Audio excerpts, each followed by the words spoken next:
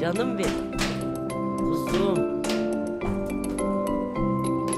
Yaz Vız vız vız. Ha? Çak. Çok güzel müzik.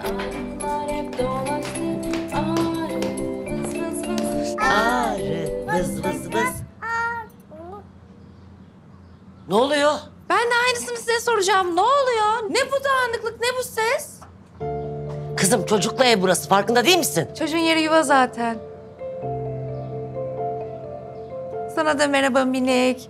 Yalnız çok ses var ve benim misafirim gelecek. Sana da yaşıtların gibi öğle uykusunu tavsiye ediyorum. Hadi canım. Ne yapalım yani gidelim mi?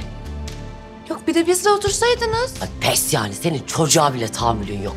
Olması mı gerekiyordu pardon? Ha yok olması gerekmiyor. Hani sen düşünüyorsundur kafanda ben kötü bir insan mıyım diye. Düşünme çünkü kötüsün zaten. Tamam. Bu saçmalıklar bittiyse eğer artık sizi alalım mı? Alalım. Gel aşkım. Gel biz gidelim kuzum. İstenmediğimiz yerde durmuyoruz biz. Bunları da alsın sizin yardımcınız. Hadi toparlayın burayı. Hış.